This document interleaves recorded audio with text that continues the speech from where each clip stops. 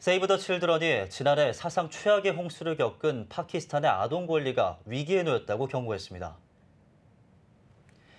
세이브 더 칠드런은 파키스탄은 지난해 대홍수로 국토의 3분의 1이 물에 잠기고 1,700명 이상이 목숨을 잃는 등 피해가 컸다며 기후위기의 최대 피해자는 가장 소외된 지역의 아동으로 파키스탄의 피해를 좌시할 수 없다고 전했습니다.